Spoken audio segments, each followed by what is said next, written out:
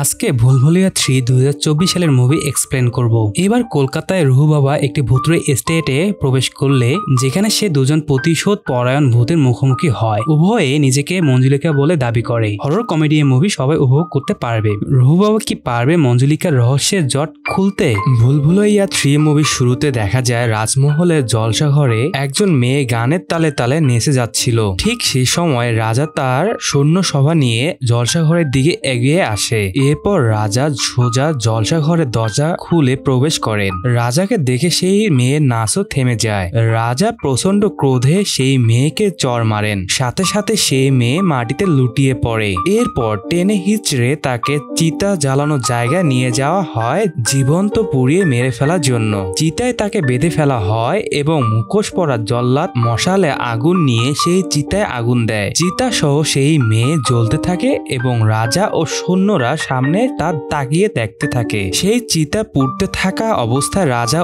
ও তার সৈন্য বাহিনী সবাই সেই স্থান ত্যাগ করে চলে যায়। চলে যাওয়ার পথে জল্লাদ তার মুখোশটাও সেই জ্বলন্ত চিতার আগুনের সামনে ফেলে দিয়ে যায়। কিন্তু এরপর দেখা যায়, পুড়ে যাওয়া চিতা থেকে সেই মেয়ের আত্মা এক পা, দু পা করে বেরিয়ে আসে। সাথে সাথে জল্লাদের ফেলে দেওয়া মুখোশ সহ সেই আত্মায় ভয়ঙ্কর অভয় তৈরি হয়ে যায়। এরপর সেই আত্মা তার প্রতিশোধ নেওয়ার জন্য প্রথমে জল্লাদের ঘরে যায়। ঘুমন্ত জল্লাদকে ভয়ঙ্কর ভাবে ঝাঁকুনি দিয়ে জাগিয়ে তোলে। ভয় পেয়ে জল্লাদ আশপাশ পর্যবেক্ষণ করে। বাইরে কাকের আওয়াজ, নিস্তব্ধ ঘর, পরিবেশ ভারী করে তোলে। আশেপাশে কিছু দেখতে না পেরে জল্লাদ আবার ঘুমাতে গেলে ঘুমানোর সময় উপরে তাকাতেই সেই উপরে থাকা আত্মা তার উপর গিয়ে ঘায়াল করে ফেলে। এরপরে নতুন সিনারিওতে মুভির হিরোর এন্ট্রি হয়। রোহান ওরফে রুহু বাবা। কলকাতার হাওড়া ব্রিজের উপর বাইকে করে তার সাথী সহ সে কারও ভূত তাড়ানোর উদ্দেশ্যে রওনা দিয়েছে। রুহু বাবা তার ক্লায়েন্টের বাড়িতে ঢুকে দেখে তাদের একটা ঘর আগুনে পুড়ে গেছে।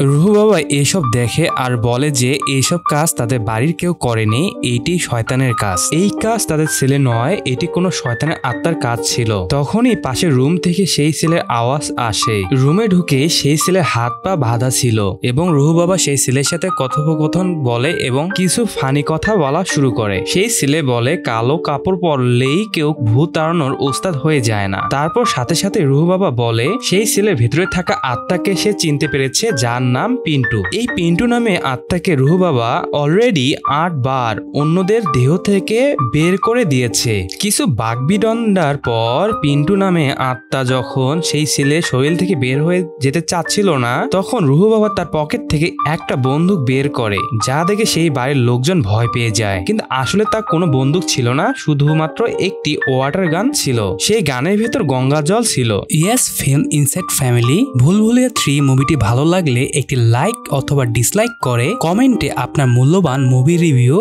জানিয়ে দিন। সেই জল ছিটিয়ে দেওয়ার পর সেই ছেলের কাছ থেকে পিন্টু নামে আত্মা চলে যায় যা দেখে তার পরিবার অনেক খুশি হয়। আর সেই ছেলে রুহু বাবাকে অনেক ধন্যবাদ জানায় তাকে এই বিপদ থেকে বাঁচানোর জন্য। কিন্তু আসলে পিন্টু নামে কোনো আত্মাই ছিল না। এই সব ঘটনা সেই ছেলে আর রুহু বাবা সাজানো নাটক ছিল। যাতে তারা আগের রাতে সেই ছেলের করা পার্টির কারণে পুড়ে যাওয়া ঘরের দোষ থেকে বাঁচানোর জন্য সে এই নাটক সাজিয়েছিল। সেই ছেলে রুহু বাবার কাছে আসে আর রোহান ওরফে রুহু বাবা সহ প্ল্যান বানায় আর পিন্টু নামে আত্মাকে সাজায়। আর এইভাবে রোহান ওরফে রুহু বাবা লোকদের ভূতের ভয়ে ফায়দা নিয়ে প্রতারণা করে। একদিন রাজা মহারাজা বংশের এক লোকের কাছ থেকে ভূত তাড়ানোর জন্য অফার আসে এবং রুহু বাবা তাদের বাড়িতে যায়। তো সেখানে গিয়ে রুহু বাবা তার স্বভাব অনুযায়ী সেই লোককে তার চেহারার ওপর তারিফ শুরু করে, যে তিনি আসলে রাজার মতো দেখতে, তাই তিনি রাজা। সেই লোক হেসে দিয়ে তাকে বলে যে, সে রাজা নয়, রাজা আসলে তার দুলা ভাই তখনই রুহু বাবা বলে ওঠে, তাই তো? এই তেজ আর অ্যাটিটিউড এত নিভু নিভু কেন? রাজা তো এত কম অ্যাটিটিউড হয় না। সে আরও বলে যে, কার কি সমস্যা? রুহু বাবা তার নাম বলতে বলে। তখন সেই লোক বলে, তার দুলা ভাইয়ের মেয়ে মানে রাজার মেয়ে, মীরা গত বছর তাদের ছেড়ে চলে গেছে। মীরা সুন্দর ছবি দেখে রুহু বাবা অবাক হয়। আর জানতে চায় কীভাবে সে মারা গেছে। প্রতি উত্তরে মীরার মামা বলে, মীরা রোড অ্যাক্সিডেন্টে মারা যায়। তারপর থেকে তার আত্মা তাদের বাড়িতে রয়ে গেছে। আর রুহু বাবা যেন তার আত্মার সাথে কথা বলে। রুহু বাবা বলে, সে তার উপস্থিতি নাকি বুঝতে পেরেছে। তখন রুহু বাবা তাকে মীরা মীরা বলে ডাকতে শুরু করে। আত্মার সহযোগে লাইটের সুইচ খোঁজার চেষ্টা করে যাতে অন অফ করে একটা ভুতুরে পরিবেশ তৈরি করতে পারে। কিন্তু সেই সহযোগী সেই সুইচ খুঁজে পায় না। এদিকে লাইট নিজে থেকেই অন অফ হওয়া শুরু করে দিয়েছে। যার কারণে রুহু বাবা তার সাথেই প্রচণ্ড ভয় পায়। এক পর্যায়ে পাশের রুম থেকে দরজা খুলে মীরা বের হয়ে আসে ভূত হয়ে। এদিকে রুহু বাবা ভয় পেয়ে পেছাতে থাকে। শেষে দেয়ালে পিঠ ঠেকে গেলে মীরা রুহু বাবার কাছে আসে আর তাকে ভয় দেখিয়ে বলে যে, কেন এসেছিস এখানে? আর কেন ডেকেছিস? প্রচণ্ড রকমের ভয় পেয়ে রুহু বাবা এক সময় চুড়াইল চুড়াইল, বাঁচাও বাঁচাও বলে চিৎকার দিতে থাকে। এক সময় সব লাইট অন হয়ে যায়, মীরা হাসতে থাকে। আর তার মামাকে বলে যে, মামা, এই রুহু বাবা সম্পূর্ণ ফ্রড ও ধোকাবাজ। সেই মামা তার ভয় পাওয়া ভিডিও রেকর্ড করে নেয়। তাকে ব্ল্যাকমেইল করে যে তাকে তাদের সাথে যেতে হবে। মীরা এবং তার মামা জানে যে রুহু বাবা ফ্রড, আর তা সত্ত্বেও তারা রুহু বাবাকে এই ফ্রডগিরি কাজে লাগানোর জন্য তাকে নিয়ে যাবে রক্ত ঘাটে কিন্তু রুহু বাবা রাজি হয় না আর বলে, সে যেতে চায় না কোনো রক্তঘাট নামক এলাকায়। কিন্তু মীরা আর তার মামা তার সেই ভয় পাওয়া ভিডিও ইউটিউব আর ইনস্টাগ্রামে আপলোড দেওয়ার হুমকি দিয়ে রুহু বাবাকে নিয়ে যেতে চায়। কিন্তু মীরা রোহানকে এই বলে আশ্বস্ত করে বলে যে, সে যদি তাদের কাজ ঠিক মতো করে দেয়, তাহলে সে এক কোটি টাকা পাবে। আর তার কথা শুনে রোহান রাজি হয়ে যায় আর বলে ওঠে ফ্লাইট কয়টার সময়? কিন্তু আসলে ফ্লাইট নয়, তারা ট্রেনে করে রক্তঘাট এর উদ্দেশ্যে রওনা দেয়। ট্রেনে রোহান চুপি চুপি মীরার দিকে তাকাচ্ছিল, যদিও মীরা সেটি টের পেয়ে যায়। মীরা বলে, যদি দেখা শেষ হয়, রুহু বাবা এরপর যেন অন্যদিকে তাকায়। রোহান তর্কে গিয়ে বলে যে, সে আসলে তাদের দিকে তাকাচ্ছে না। আসলে সে ভাবছে যে তারা এত রয়্যাল ফ্যামিলি হওয়া সত্ত্বেও কেন তারা ট্রেনে করে সাধারণ বগিতে ভ্রমণ করছে? মীরার মামা বলে যে তারা বাকি রাজাদের মতো নয়। তাদের চিন্তাধারা এমন যে তারা সিম্পল লিভিং আর হাই থিঙ্কিং এর বিশ্বাসী। এই কথা শুনে রোহান বলে, তাহলে আপনারা জানেন যে আমি ফ্রড। তা সত্ত্বেও আপনাদের কাজের জন্য আমাকে কেন বেছে নিলেন? মীরা তখন বলে, এই বিষয় সেখানে গেলে তুমি বুঝতে পারবে। এরপরে তারা নৌকায় করে রক্তঘাটে পৌঁছায়। পৌঁছানোর পর রোহান বুঝতে পারে সেখানকার লোকজন তার দিকে তাকাচ্ছিল অবাক হয়ে। তা দেখে রোহান মীরাকে বলে, এখানকার লোকজনের কি এভাবে তাকানো অভ্যাস রয়েছে? সবাই এভাবে তাকিয়ে রয়েছে কেন? মীরার মামা বলে, সব বুঝতে পারবে পরে। তারা মহলের সামনে আসে ঘোড়া গাড়ি নিয়ে। ঘোড়া গাড়ি থেকে নেমে মহলের দিকে এগিয়ে যেতে চায় রোহান। কিন্তু মীরা বলে যে তারা ওই মহলে থাকে না। তারা মহলের সামনে ছোট্ট ভাঙ্গাচুরা ভবনে থাকে। রোহান তো তা দেখে হতবাক। মীরা বলে, রাজমহলে মঞ্জুলিকা নামে এক ভূত থাকার কারণে তারা কেউ এই মহলে থাকে না।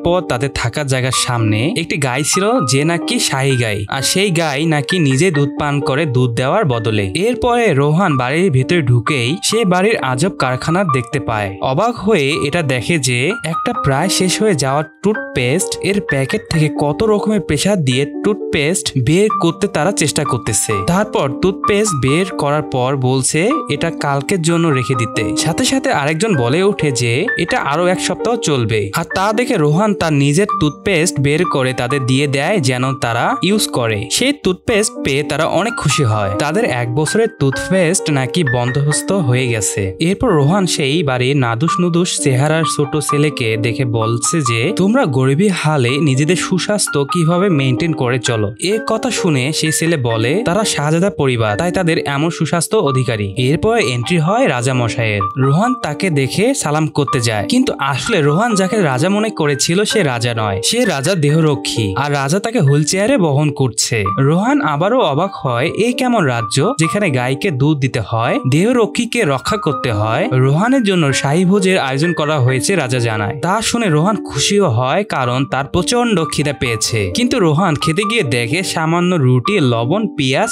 আর মরিচ তার জন্য আনা হয়েছে। এটা দেখে রোহান বলে যে, এ তো গরিবী হাল, এ তো সোমালিয়াতেও নেই। এসব দেখে বিরক্ত হয়ে রোহান রাজকুমারী মীরাকে ডেকে বলে যে, তোমার কাছে একটা কানাকড়িও নেই, আর তুমি আমাকে এক কোটি টাকা দেবে কীভাবে? মীরা আগের মতোই উত্তর দেয়। এটার উত্তর সে সন্ধ্যায় জানতে পারবে। সন্ধ্যায় রোহান আর মীরা তাদের রাজপুরোহিতের সাথে দেখা করতে যায়। রাজপুরোহিত রোহানকে দেখে অনেক খুশি হয় আর সম্মান দেয়। রোহান তা বুঝতে পারে না কেন তাকে এত সম্মান করা হচ্ছে। এরপর রাজপুরোহিত রোহান ও মীরাকে মহলের ভিতর নিয়ে যায় কিছু দেখানোর জন্য, যেখানে একটা ঘরে মঞ্জুলিকার আত্মা বন্দি করে রাখা হয়েছে। রোহান সেই মহলের ভেতরে যেতে ভয় পাচ্ছিল, কিন্তু মীরা এক কোটি টাকার কথা খেয়াল করে দিলে রোহান সেখানে যেতে অনুপ্রাণিত হয়। ভুতুরে পরিবেশ দেখে রোহান আগে ভয় পেয়েছিল যে নিজের রিংটোন শুনে সে চমকে উঠে গিয়েছিল। তারপর পাশাপাশি সে কিছু আনকমফোর্টেবল থিং নোটিস করে। এরপরে রাজপুরোহিত তাকে রাজার রাজকুমার দেবেন্দ্রনাথ এর ছবি দেখায়। সে দেখতে অবিকল রোহানের মতোই। সাথে রাজপুরোহিত এও বলেন যে, রোহানের মাধ্যমে রাজকুমার দেবেন্দ্রনাথ এর পুনর্জন্ম হয়েছে। আর সেটা কীভাবে হয়েছে সেটা জানার জন্য রোহানকে এই রাজ্যের ইতিহাস জানতে হবে। রাজকুমার দেবেন্দ্রনাথ ও মঞ্জুলিকার ইতিহাস জানতে হবে। মঞ্জুলিকা ছিল রাজার একমাত্র কন্যা। সে অনেক যুদ্ধের কৌশলে পারদর্শী ছিল। পুরো রাজ্যে তার মতো নিশানা কেউ লাগাতে পারত না। মঞ্জুলিকা ধরেই নিয়েছিল, সে পরবর্তী সিংহাসন তারই হবে। কিন্তু একদিন রাজকুমারের পুত্র সন্তানের জন্ম হয়। তা দেখে মঞ্জুলিকা কিছুটা ক্ষিপ্ত হয়। মনে মনে তার ভাইয়ের প্রতি ক্ষোভ জমতে থাকে। রাজকুমার দেবেন্দ্রনাথ বড় হওয়ার পর তাকে রাজ্যের অভিষেক করা হয়। তখন মঞ্জুলিকা তাকে মারার জন্য প্ল্যান করে। এর পরে রাতে মঞ্জুলিকা তার ভাইকে মেরে ফেলে। পরবর্তীতে রাজা মঞ্জুলিকাকে চিতার আগুনে পুড়ে ফেলে। কিন্তু তাতে মঞ্জুলিকার আত্মা শান্ত হয়নি। এরপরে মঞ্জুলিকার অভিশপ্ত আত্মা রাজাকে তার নিজস্ব কক্ষে মেরে ফেলে। মঞ্জুলিকার এই অভিশপ্ত আত্মাকে থামানোর জন্য রাজপুরোহিত পূর্বজনরা এক মহাযজ্ঞ এর আয়োজন করে। পরবর্তীতে সুযোগ বুঝে তারা মঞ্জুলিকাকে এক কক্ষের মধ্যে বন্ধ করে ফেলে। সেই থেকে সেই বদ্ধ ঘরে সিল মেরে দেওয়া হয় যাতে করে অঞ্জলি মঞ্জুলিকার আত্মা বাইরে যেতে না পারে। তারপর থেকে সেই বদ্ধ ঘর খোলার চেষ্টা কেউ করেনি। কিন্তু সেই বদ্ধ ঘর শুধুমাত্র মঞ্জুলিকাকে আটকে রাখতে পারে। মঞ্জুলিকার বিনাশ হবে না। কারণ ভবিষ্যৎবাণীর মতে মঞ্জুলিকার বিনাশের জন্য রাজঘর থেকে কারও পুনর্জন্ম হতে হবে। যে এসে দুর্গা অষ্টমীর দিন সেই দরজা খুলে মঞ্জুলিকার বিনাশ করবে। সেই থেকে দুশো বছর ধরে তারা রোহানের অপেক্ষায় ছিল। রোহান এটা কথা শুনে অবাক হয়ে যায়, ভাবে যে তার জন্য কেন অপেক্ষা করতে ছিল তারা? রাজপুরোহিত বলে যে, সে সাধারণ কোনো মানুষ নয়, সে রাজকুমার। একমাত্র সেই পারে মঞ্জুলিকাকে বিনাশ করতে? এটা শুনে রোহানের বুকে সাহস ফিরে আসে। সে নিজেকে রয়্যাল ফ্যামিলির লোক মনে করা শুরু করে দেয়। কিন্তু মীরা এসব ভূত পেতকে বিশ্বাস করে না। সে রাজপুরোহিতকে দেওয়া ওয়াদা রক্ষা করার জন্য চুপচাপ ছিল। তা না হলে সে আগে সেই মঞ্জুলিকাকে ঘর থেকে বের করে দিত আর সেই মহল এক হাজার কুড়ি টাকায় বিক্রি করে দিত। রোহানের উপর সাহস করে সবাই আবার সেই মহলে ফিরে আসে থাকার জন্য। এরপর পুরো রাজ্যের সামনে রোহানকে নতুন ভাবে রাজ্য অভিষেক করানো হয়। সবাই তাকে রাজকুমার হিসেবে মানলেও তিনজন তাকে রাজকুমার হিসেবে মানে না। কিন্তু রোহান ওরফে রুহু বাবা তাকে বুদ্ধি দিয়ে তাদের জালে ফেলে ফাঁসায়। সবাই যখন তাকে মেনে নিয়েছে যে সে রাজকুমার, আর তখন সবাই উৎসবে মেতে ওঠে। এরপরে তাদের বাড়িতে আগমন করে মল্লিকার যে পুরনো মহল, বাড়ি পুনর্গঠনের কাজে নিয়োজিত ছিল। সে বলে যে, তার মালিক আসার কথা ছিল, সে একটা লম্বা ছুটিতে ঘুরতে গেছে। তার বদলে সে কাজ করতে এসেছে। মল্লিকা রোহানকে দেখে বলে, কিছু মনে পড়ছে কিনা? এ রাজ্য তার বড় বোন মঞ্জুলিকা সম্পর্কে কিছু মনে পড়ছে কিনা? এরপর রাতে রোহান একটা স্বপ্ন দেখে যেখানে মীরা অপর থেকে লাভ দেয়, যা দেখে রোহান অনেক ভয় পেয়ে যায়। ঘুম থেকে উঠে পড়ে। পরের দিন রোহান মীরাকে সেখানেই সে দেখতে পারে। পরের দিন রোহান মীরাকে দেখে তার স্বপ্নের কথা জানায়, কিন্তু মীরা তা বিশ্বাস করে না। এরপর মল্লিকা স্টোর রুমে পুরনো কিছু জিনিসপত্র দেখছে এলো, যেখানে ছুরি তলোয়ার ছিল। তারপর রাজা সেই রুমে প্রবেশ করার পর তাকে বলে যে, সাবধান, এগুলো অনেক দামি জিনিস, মঞ্জুলিকার তলোয়ার। মঞ্জুলিকার মতো নিশানা কেউ লাগাতে পারতো না। সে চোখ বন্ধ করে সঠিক নিশানায় তাক লাগাতে পারত। মীরার বাবা ও তার মামা তা দেখে হেসে চলে যায়। এরপর রাতে আবারও রোহানের সাথে কিছু অপ্রীতিকর ঘটনা শুরু হয়। রেডিওতে তার ফোনে রিংটোন বাজতে থাকে। তারপর হঠাৎ করে একজন মেয়ে আওয়াজ করে যে নিজেকে মঞ্জুলিকা দাবি করে, তার ভাইয়ের খোঁজ করে। রোহান ভয় পেয়ে সে রেডিওতে পানি ঢেলে দেয়, কারণ সে রেডিও অফ করে দেওয়ার জন্য, কিন্তু তা সত্ত্বেও বেজে যাচ্ছিল। তারপর হুট করে একটা কালো বিড়াল তার উপরে চলে আসে, যার জন্য সে আরও বেশি চমকে যায়। এরপরে বাইরের ঘর থেকে আগুন আগুন বলে চিৎকার আসতে থাকে। দৌড়ে গিয়ে সেখানে গিয়ে দেখা যায় রাজকুমারের দেবেন্দ্রনাথের ছবিতে আগুন লেগে যায়। বাড়ির সবাই সেই ঘটনা দেখে অনেক ভয় পেয়ে যায়। কিন্তু মল্লিকা তা দেখে একটু ভয় পায় না, একদম নর্মাল ছিল। এটা দেখে রোহান ও মীরা একটু সন্দেহ সন্দেহপ্রবণ ছিল। পরের দিন রোহান আতঙ্কিত হয়ে বাইরে হাঁটতে থাকে। বের হয়ে দেখে হঠাৎ তার পুরনো সাথী চলে এসেছে। তার সহযোগী এসে বলে, এসিপি রাথো তাদের খুঁজছে, কারণ তাদের সাথে প্রতারণার কারণ ফাঁস হয়েছে। কিন্তু এদিকে রোহান এই মহল থেকে শহরে ফিরে যেতে চাচ্ছিল। দুই দিকে বিপদ দেখে হতাশ হয়ে যায় সে। পরে তারা দুজন মিলে প্ল্যান করে যে তারা সেই ভিডিও ডিলিট করে দিবে, যে ভিডিও মীরার ফোনে রয়েছে। আর সেই প্ল্যান সফল করার জন্য রোহান মীরার ভাইকে বিশ টাকা দিয়ে রাজি করায় তার ফোনটা এনে দিতে। সে ফোন এনে দিয়ে রোহানকে আরও বিশ টাকা দিতে বলে, ফোনের প্যাটার্ন খোলার জন্য রোহান আরও বিশ টাকা দেয়। রোহান তার ভিডিও খুঁজতে থাকে, কিন্তু ভিডিও খুঁজতে গিয়ে দেখে মীরা রোহানের সুন্দর সুন্দর ছবি তুলে রেখেছে তার গ্যালারিতে এটা দেখে রোহান কিছুটা খুশি হয় আর অবাকও হয়। এক পর্যায়ে ছবি দেখতে দেখতে মীরা চলে আসে। মীরা রোহানের কাছ থেকে ফোনটা নিয়ে যায় আর বলে যে সে জানতো রোহান তার ফোন নেওয়ার চেষ্টা করবে। তাই সে পাসওয়ার্ড দিয়ে রেখেছে। কিন্তু রোহান সেটা উত্তর না দিয়ে তার ছবি কেন মীরার ফোনে সেটা জানতে চায়। মীরাও সেটা ইগনোর করার চেষ্টা করে। রোহান মীরাকে জানায় যে তার ছবি যতদিন মীরার ফোনে আছে, সে এই বাড়ি থেকে ছেড়ে যেতে পারবে না। রোহান ও মীরা দাঁড়িয়ে আছে একটা পেন্টিং এর সামনে। রোহান জানতে চাইলে মীরা তার উত্তর দেয় যে, এই ছবিটি রাজকুমার দেবেন্দ্রনাথের ওয়াইফের এরপর রোহান বলে, তার সাথে মীরার কিছুটা মিল রয়েছে। মীরা সেটাকে পাত্তা না দিয়ে চলে যায়। রোহানও পিছু পিছু যায়। কিন্তু যেতে যেতে হঠাৎ তাদের সামনে সেই মঞ্জুলিকাকে বদ্ধ করে রাখা দরজার তালা মাটিতে পড়ে থাকতে দেখা যায়। এরপরে সেই রুমের দিকে তাকালে তারা দেখতে পায়, সেখানে দরজা খোলা, ভেতরে একজনকে দেখতে পায়। সেই ভূতকে দেখে তারা দৌড়াতে থাকে। দৌড়াতে দৌড়াতে তারা এক স্টোর রুমে পৌঁছে যায়। সেখানে তারা এক ভূত দেখতে পায়। সেই ভূত তাদের সামনে চলে আসে, যা দেখে তারা আরও দৌড়াতে থাকে স্টোর রুম থেকে বের হয়ে আসে।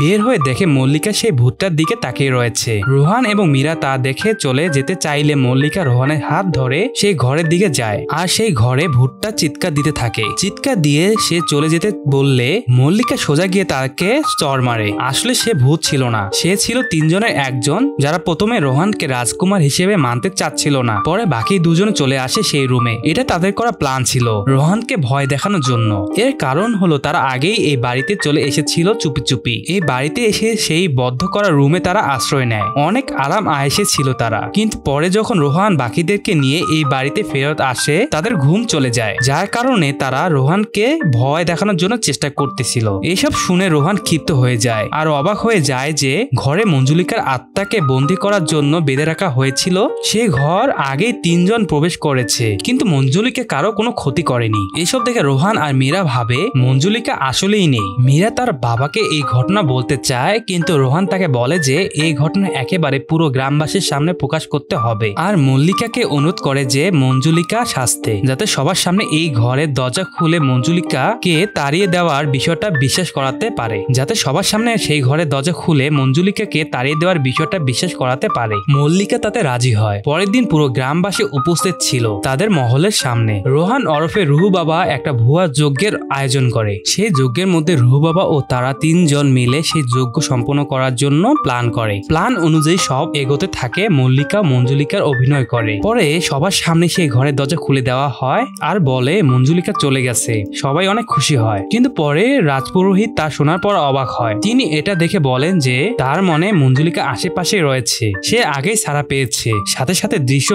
মল্লিকার কাজে ঘরের দিকে চলে যায়। সেখানে একটা দেয়ালে তার লোকজন কাজ করা অবস্থায় ফাটল ধরে। ধীরে ধীরে ফাটল বড় হতে থাকে, সে দেয়াল ভেঙে যায়। সেখানে একটা গোপন সুরঙ্গ দেখ তারা দেখতে পায়। ধীরে ধীরে তারা সেই সুরঙ্গ পথ ধরে এগোতে থাকে, শেষে তারা আরেকটি বদ্ধ ঘর দেখতে পায়। ঠিক সেভাবেই তালা দিয়ে বদ্ধ করে দেওয়া হয় যেমনটা উপরে ঘরটাতে ছিল। তা দেখে পুরোহিত কিছুটা বুঝতে পারে না যে আরেকটা ঘর কীভাবে এলো। রাজপুরোহিত সব স্পষ্ট হওয়ার জন্য পুরো ইতিহাস আবার ঘাটাঘাটি করার কথা বলেন। সাথে এও বলেন যে, এই ঘর যেন দুর্গা অষ্টমীর আগে যেন না খোলা হয়। কিন্তু এদিকে রোহান সেই দরজা খোলার জন্য উঠে পড়ে লাগে। তাই সে মীরার বাবার সামনে বিভিন্ন অভিনয় আর সল সাতরি করে রাজি করান সেই দরজা খোলার জন্য। পরে মীরা তার বাবা এবং মামা সহ রোহান চলে যায় সেই দরজা ভেঙে ফেলার জন্য। এরপর দরজাও ভেঙে ফেলা হয়। দরজা খোলার সাথে সাথে সেই রুম থেকে অনেক কাক বের হয়ে যায়। কিন্তু ভেতরে গিয়ে সেখানে কাউকে দেখতে পাওয়া যায় না। রোহান ভেবে নেয় যে এখানে সব ঠিক রয়েছে।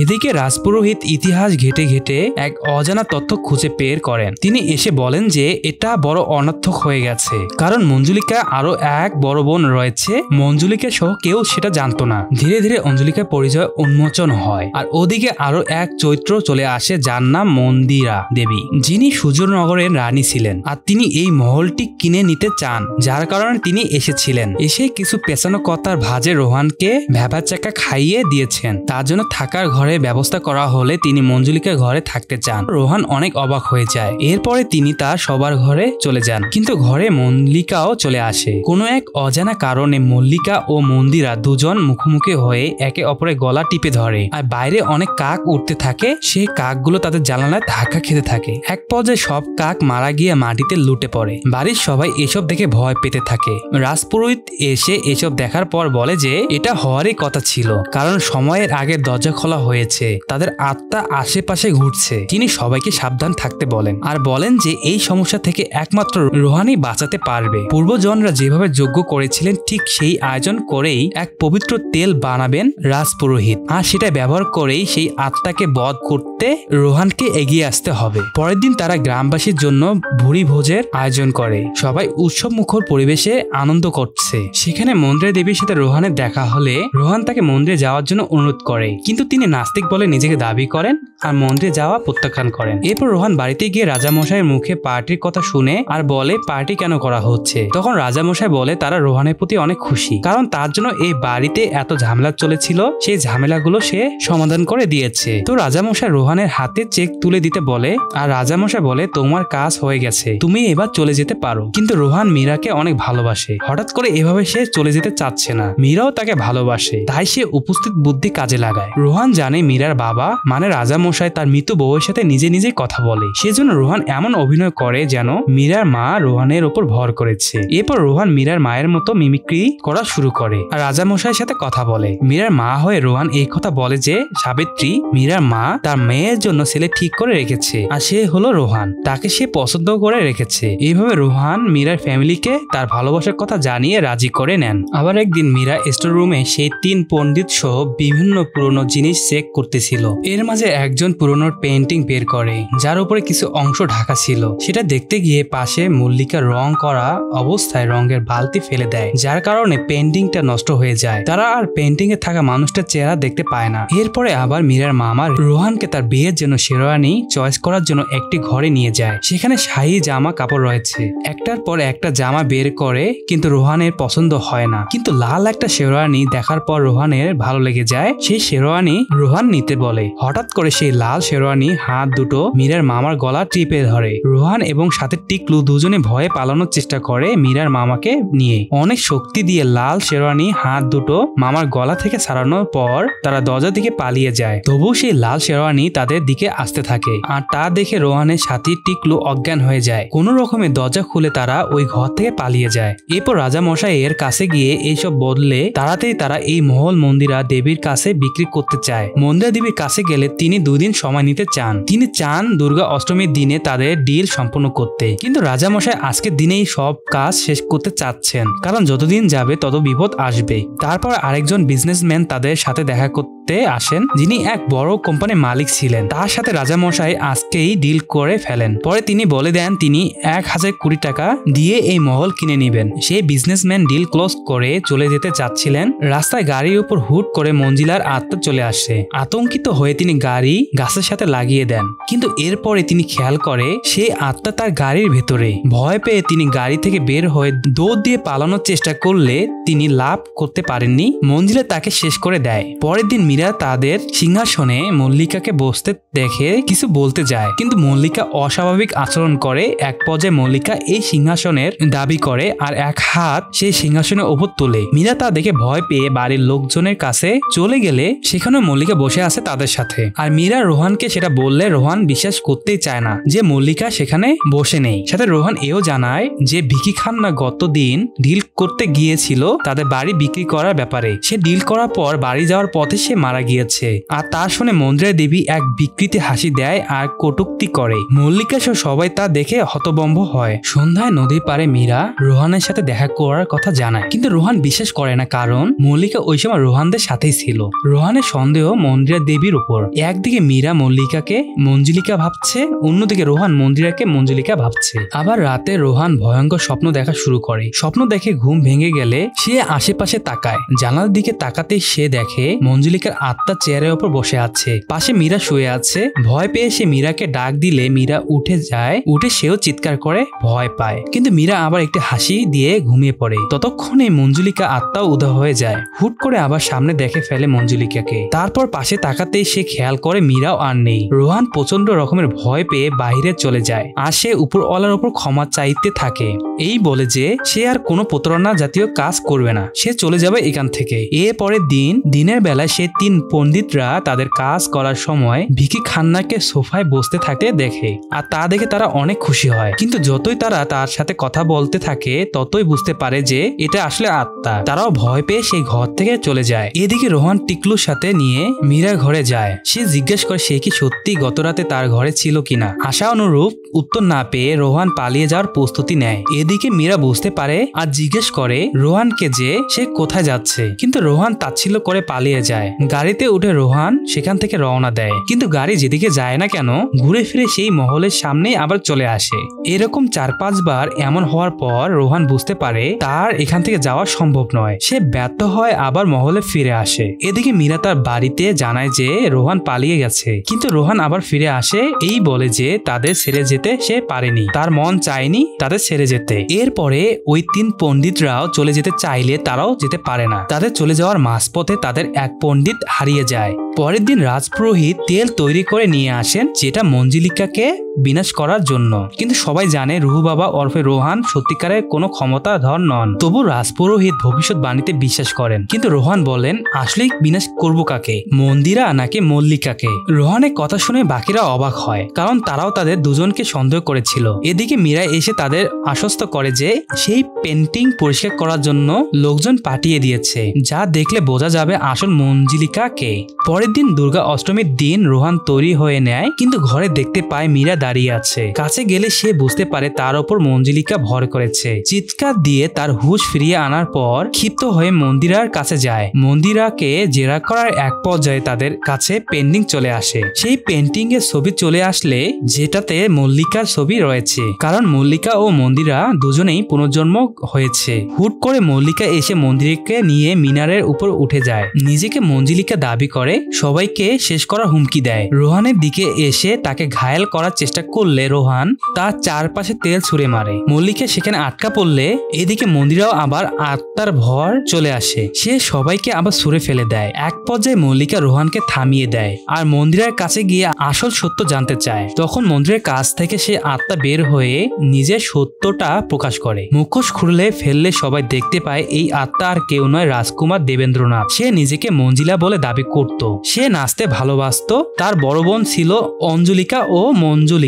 রাজকুমারকে মারতে যাওয়ার সময় তারা টের পায় যে দেবেন্দ্রনাথের সত্তা আলাদা। তারা দেবেন্দ্রনাথকে নাচতে বলে। আর সে খুশি হয়ে নাচতে যায়। এই সুযোগে মঞ্জুলিকা ভরা মজলিসে গিয়ে তার বাবাকে গিয়ে জানিয়ে দেয় যে, দেবেন্দ্রনাথ আসলে রাজকুমার নয়, সে রাজকুমারী। আর তার শুনে রাজা ক্ষিপ্ত হয়ে জলসাঘরে চলে আসে। তাকে চিতা জ্বালানোর জন্য জীবন্ত পুড়িয়ে ফেলা হয়। সেই থেকে সে তার প্রতিশোধ নেওয়ার জন্য আত্মা হয়ে ওঠে। কিন্তু রাজা তার দুই মেয়েকে শাস্তি দেয়, তাদের লোভের কারণে। যার কারণে অঞ্জলিকার ইতিহাস মুছে ফেলা হয় আর মঞ্জুলিকাকে শাস্তি দেওয়া হয়। সবকিছু বলে দেওয়ার পর দেবেন্দ্রনাথের আত্মা তাদের মেরে ফেলার জন্য উদত্ত হয়। মল্লিকা আর মন্দিরা ওরফে মঞ্জুলিকা আর অঞ্জলিকা তারা মশাল নেয় তাকে পুড়িয়ে দেওয়ার জন্য, কিন্তু তাদের মনে পরিবর্তন আসে। তারা মঞ্জুলিকা আর অঞ্জলিকা হয়ে ক্ষমা চায় দেবেন্দ্রনাথের কাছে, তাকে বুঝতে না পারার জন্য।